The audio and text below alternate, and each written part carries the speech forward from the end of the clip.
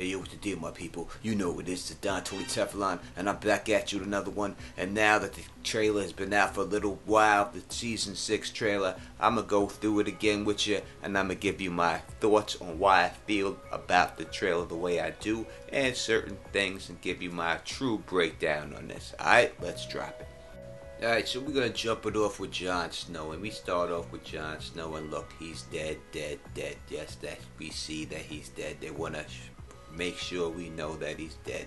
And now this next shot that I seen, I thought in the beginning that this was Melisandre, but, but on further inspection, you can see these are definitely man hands, and that she does not. It does the man hands do not have the ring that Melisandre has later on that we sing on the feet fire, but we do see a fire burning behind Jon's head. So we can see Thorne and his goons trying to break up in the room trying to definitely get to Jon's body, and that's what leads Davos to grab the sword right here and definitely go after these cats. Now, the things that's interesting to me here is you can see right there the guy next to Ghost is guy who has long enough hair to be the guy that's put his hand over Jon's face. And we could also see that Jon's body is now laying on top of Ghost. His head is laying on top of Ghost, so they moved his body from the position that it was in before. Which leads me to believe there has to be some reason that they moved this man's body and put his head directly on Ghost. Ghost does not look alive, or he does not look like he's in protection mode, kind of like when uh, Bran was getting attacked. We don't see that same uh, fire in Ghost laying there. So it's quite possibly, as I have said before in other videos, that they may have to kill Ghost to bring Jon back. And I think that when you see the Melisandre pictures of her here looking like she's about to seduce somebody, probably looks like she's maybe trying to buy time to resurrect Jon, and maybe she couldn't buy enough time to do it, and now they're trying to lock him in there and get this done now. Now, sticking with the North, because I do believe that most of the action will take place in the North, and I think it's going to be the best part of the show this season. We get Ramsay and Roose, and there's no telling exactly which scene is going on here right now. But as I said before, Ramsay does look a little bit concerned to me, so things could be unraveling for them at this particular time. Now, after that, we get this scene of a battle, and then let's get to this dude right here um, on the fillet cross. Now, we know that there could be two possible people that are supposed to be filleted. I hear people saying that it can't be Stannis because Stannis' head was supposedly chopped off, but if you look at the angle from when Brienne supposedly killed him, doesn't look like she could have chopped him off with his back against it, chopped his head off with his back against the tree right there. So I do think it could be Stannis, and it also could be Giants, uh, Giant's Giantsbane. Why I keep messing up that man's name? Uh, from what it looks like in the previews, it possibly could be him. I also think that uh, it could be somebody else. Who knows? It's got to be somebody else, but it could be somebody a little bit more important uh, than those two. Theon and Sansa look like the Ramsay or the Bolton men do catch up with him.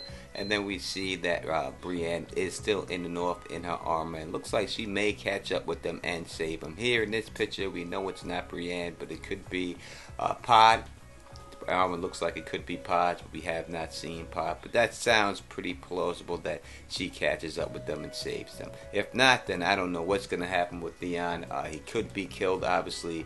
He's not dead in the books yet, but you know, uh, it's at the point in the books where he could be dead. He's not really much needed if he's not going to have him at the King's Moot. I don't think he's much more needed in the story. We don't get a lot of Sansa. Mostly looks like she looks like she's dressed like Petyr Baelish. And Petyr Baelish is probably going to come down and save the day with the Vale army. As I said before, we get Jon. You see him leading the charge down there. And once again, I'll say it. I do think that the North, the Northern storylines will definitely be the most interesting part of this whole season. Moving on to the Tower of Joy, you know, I'm really excited about seeing the Tower of Joy. I definitely missed this the first time around. I wasn't even thinking about Tower of Joy. And when the guy came around, you seen him in the Targaryen armor, who we think is Sir Arthur Dayne. I was not even thinking about Tower of Joy. That is why it slipped my mind. But now that I look at this picture of them, I think what they're trying to do is they're trying to say this guy is such a great swordsman. And the only way to show it, I think they think they need to use two short swords to make him show how great he really is. But it only works for me if he does have two swords. If somehow he dropped Dawn or he picks another sword up. But if he goes into battle with two swords, that doesn't work for me. I think uh, to me the R plus L equal J thing is just about sewing up. But I, I don't think that that's what's important for me. I am really looking more forward to what happened after the Tower of Joy. I mean, does Ned really kill Sir Arthur Dayne? Is he really dead? I, I think he is, but it's possibility that he's not. Uh, will they show him go visit his sister? Will they show all that? So I'm really interested in seeing more of the events after the Tower of Joy, because to me, the Tower of Joy itself is pretty much a wrap. This is probably the most interesting scene in the whole trailer, actually, and it's down in King's Landing. So if this is the case, and these are Varys' little birds, then it does look like this could be the death of Kevan Lannister. Uh, I know we see a lot of Jaime and Cersei, and we see them Robert Strong, the mountain or the Undead Mountain, looking like he's about to hold it down. And we also see some stuff going down with the Faith Militant. But to me, that all stuff is the stuff we already knew, and it's not really that exciting. To me, the most exciting thing is this little shot right here. This was what gets me up. I hope that this is the case, that it is the little birds killing Kevan Lannister. That's what it looks like. And if that is the case, then this probably will be happening, probably episode 10 this season. Now, the next interesting point to me is Arya, and we see the wave kicking her ass, and then after that, much leads to her doing the White Walker leap. Now, I know a lot of people have given me a lot of bullshit in the comments saying that Arya is not walking. I don't know how you don't see that she's walking. So I'm going to break it down and show you exactly what I'm looking at. And you can see from this picture that it seems like her eyes are not blind. And then in the next scene, you see her eyes are blind. So from that, it seems like she is walking to me. And that is the reason why I said I do believe she is walking at this particular time. But what interests me most about Arya is how far are they going to go? How are they going to do the mercy thing? Are they going to have her get in trouble for what she's done and then she's going to escape and then join up with Izembaro and the mercy group? Is that how they're going to have her do it? And have her hiding out there instead of her being sent there? Seems probably it could go down like that, but I am looking forward to Arya. Dany storyline, let me tell you something. I think it's going to be the most boring this year. I don't see anything in this clips of significance for me to really talk about in the Dany thing. So I'm not really going to get too much in Dany at this particular time.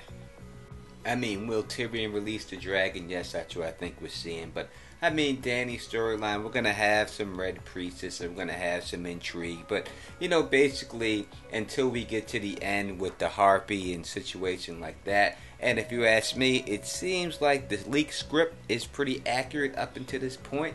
So it just doesn't seem like anything I don't know what's going to happen. The biggest thing I'm worried about Dany, is is she going to be heading towards Westeros by the end of the season? That's the only thing I'm really interested in finding out with her.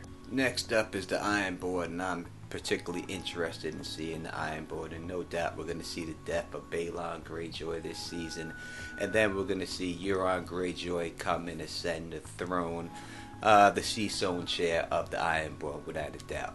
I don't see it going down any other way but that way. Uh, the only thing that does particularly uh, make me give some waiver is that if this is Yara, and it definitely does look like Yara, why they are making her a lesbian, I don't know. I don't see the reason why they do it. I hope they don't try to use that against her to make her not become uh, Queen of the Iron Islands because of it, but I really don't see any other reason for them putting that in there. Leading back to the north, as I said, it would be the most important thing. We see Bran, and he looks scared as fuck, and then after we see him look scared as fuck, we see the Night's King standing right there. I don't know if the Night King could see him. It would be crazy if the Night King was in his dreams also, because this is basically a dream sequence or something as of that matter then that would be nuts because that would mean something big with the Night King. But I just think probably he sees him, Bran sees him, and from whatever he's seen, uh, looking across whatever the plan of the White Walkers was, had him that scared. And then when he sees the Night King right there, it's just the icing on the cake. We also see what I think is uh, some type of wildling throwing some type of fire on the white in one of the scenes. But that's what I've seen from these two clips. Bran will probably just played a role of just showing all the stories. I don't know what else he's gonna do. I just think he's gonna talk to a lot of people and that's it. But uh, overall, as I said, great trailer. I can't wait for the season. Let me know what you think. Put it in the comments. So if you like the way I do this, please thumbs up this. Please spread this across the realm and please subscribe. And until next time, you know who it is. Peace and stay sexy.